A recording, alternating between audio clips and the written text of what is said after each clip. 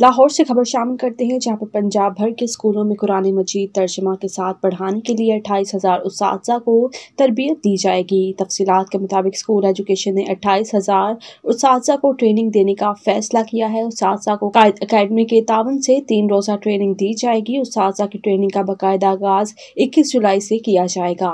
Higher secondary, higher elementary और primary school उस training में हिस्सा लेंगे। ट्रेनिंग का सिलसिला मरहलावार अगस्त तक जारी रहेगा।